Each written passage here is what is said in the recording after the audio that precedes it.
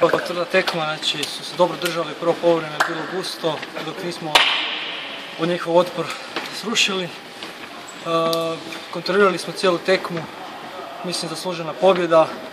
Imali su neke polu kontre kontre koje, koje smo zatvorili, svoje smo zabili i to je to. Idemo dalje, u, nadam se u polufinale.